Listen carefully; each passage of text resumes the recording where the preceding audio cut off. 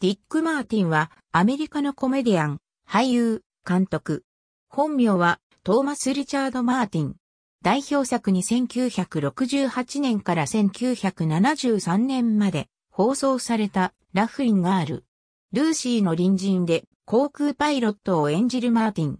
ザ・ルーシー賞、ミシガン州立大学卒業。キャリアの初期にはラジオのシットコム、ダフィーズ・タバーンの構成作家として働く。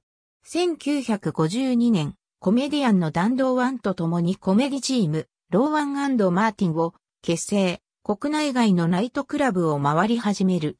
このコンビは最初のコントでマーティンが酔いどれのシェイクスピア俳優を演じて、ローワンのセリフにたびたび味を入れ、そのままマーティンの役回りとして定着するなど、その時々にパンチの効いたアイデアを付け加えていく点が特徴だった。また NBC 放送のお笑い番組コルゲートコメディアワーは底抜けコンビなど有名コンビが持ち回りの出演者兼進行役を務め、ローワンマーティンも何度かその役目を引き受けている。喜劇映画の初出演は1958年の西部劇ワンスアポンやホースだったものの興行は振るわなかった。NBC との契約は話し合いの上、4年繰り上げて1960年に終了。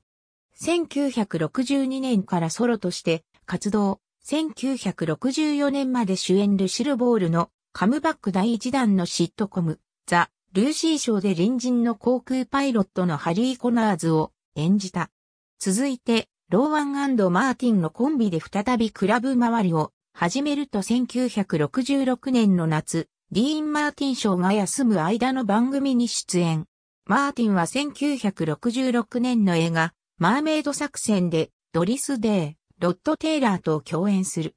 ローワンマーティンの活躍はやがて、テレビプロデューサーのエド・フレンドリーとジョージ・シュラッターに見出され、NBC でラフインの放送が始まると、2ヶ月でたちまち全米1位の人気シリーズとなって2シーズン、その人気が続く。この番組は、早いペースで、次々にギャグを演じては、照明を落として、場面を切り替える構成が目新しく、笑いを誘う性的な話題や風刺、名台詞をところどころに意図的に差し込んでいた。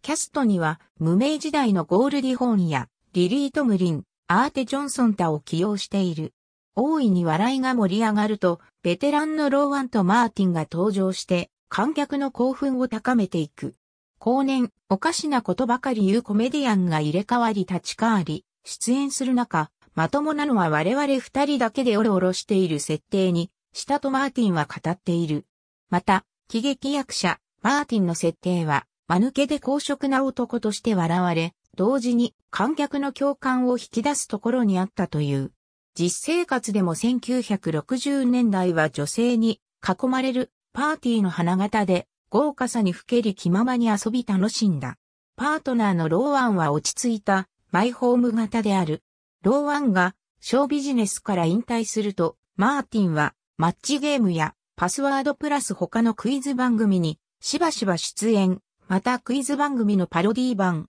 チープショート、マインドリーダーで司会を務めた。コメディ番組の監督として力を発揮し、デビュー作、ボブ・ニューハート賞を皮切り20作を超える番組を監督する。1980年代には、ニューハートでチーフ監督の座についた。1998年、人気を集めたシットコム、ナニーにゲスト出演したマーティンは、フラン・ファインが公演で出会う、ホームレス役を演じる。サードロック、フロムさんに社会学者のベンリット・メイヤー博士役で客演した1971年8月22日に、プレイボーイのプレイメイトで、ワイルドパーティーのスター女優、ドリー・リードと結婚、1974年6月に離婚するものの、1978年に再婚し、生涯を共に過ごす。初婚は女優で歌手のペギー・コネリー。子供は息子二人、リチャード・マーティンとキャリー・マーティン。